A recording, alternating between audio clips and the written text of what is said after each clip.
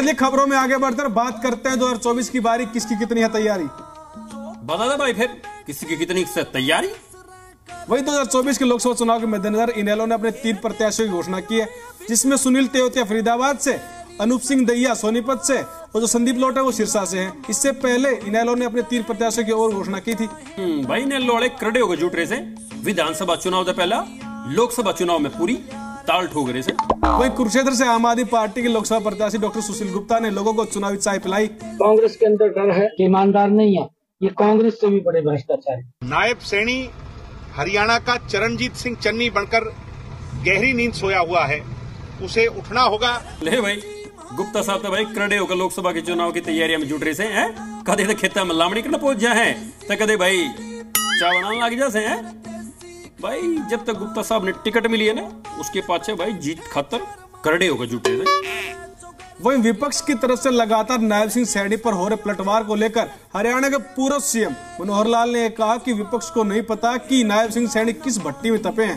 नायब सिंह सैनी को जिस दिन वो जानेंगे उस दिन पता लगेगा कि नायब सिंह सैनी क्या है और कहाँ से कौन सी भट्टी में से तपे हुए हैं। मुखोटा बदला है वो कहते हैं बोतल बदली है शराब वही पुरानी है। मनोहर लाल खट्टर ही सरकार चला रहे हैं। बोलने की मर्यादाएँ हैं ये बढ़ा के रखना चाहिए। डबल इंजन से प्रदेश को लूटने का काम हुआ। अच्छा रे मन्ने भी नहीं मेरा यार किस भट्टी से तपे हैं? बाकी भट्टिया में तो मैं भी बहुत तपया हूँ यार।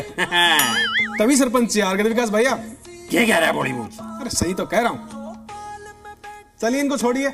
वही हरियाणा कांग्रेस के दिग्गज नेता कुमारी सैलजा ने बीजेपी को तंज कसते हुए कहा कि हरियाणा में चाहे सीएम का फेस बदले लेकिन हरियाणा के लोगों ने मन बना लिया है कि बीजेपी को हराएँगे और कांग्रेस को लाएँगे। जिस तरह से मुख्यमंत्री आज के दिन भी ना नए मुख्यमंत्री को ये मुख्यमंत्री मान रहे हैं पुराने मुख्यमंत्री अपनी जगह खो चुके हैं। दस साल से वो अपना संगठन नहीं बना पाए।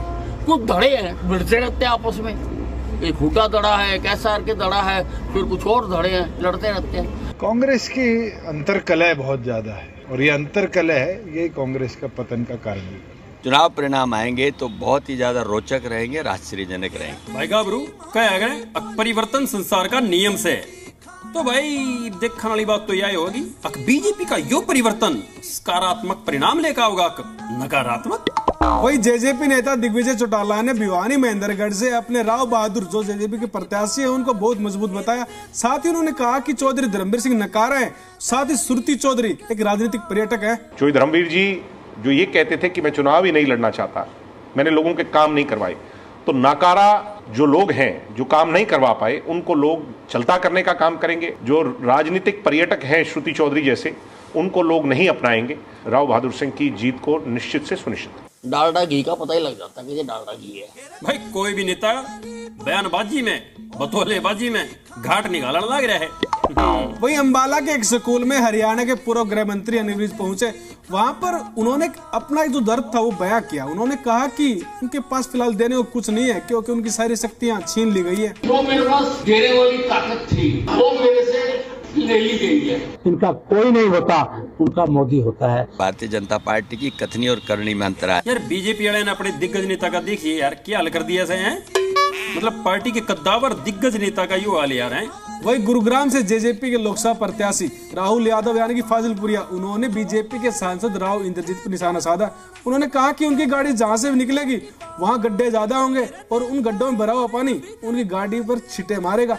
जनता उनसे जवाब मांगेगी। जितनी भी सरकार की सुविधाएँ हैं, जो एक सांसद को पिछले पंद्रह साल के अंदर देनी चाहिए थी, बीस साल के अंदर देनी चाहिए थी उन पे कभी काम ही नहीं हुआ। चुनौती है उनके लिए हर वोटर को उनको जवाब देना है कि उन्होंने पिछले बीस साल में कराया क्या है। धोखेबाजी की जुमलेबाजी की राजनीति। आज कांग्रेस के अंदर एक भय का वातावरण है। भाई हरियाणा की राजनीति में हो रहा है वार पलटवार और नेता अपने बयान कर रहे से बौछार। बाकी तो भाई 2024 का चुनाव ही बताओगा। अब किस पार्टी का होगा बेड़ा पार?